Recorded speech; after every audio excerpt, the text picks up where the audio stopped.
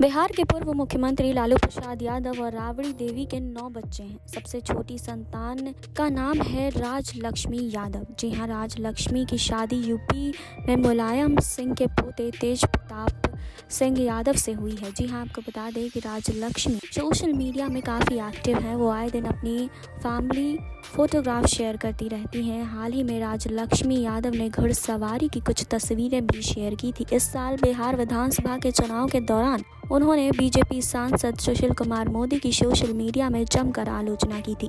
दरअसल सुशील मोदी ने लालू प्रसाद यादव के निजी जीवन को लेकर एक ऐसा बयान दिया था जिस पर काफ़ी हंगामा हुआ था। जी हाँ राजलक्ष्मी के ट्वीट देखने के बाद सुशील मोदी ने उन्हें ट्विटर पर ब्लॉक कर दिया था। जी हाँ बता दें कि राजलक्ष्मी यादव रिश्ते में अखिलेश यादव की बहू लगती हैं।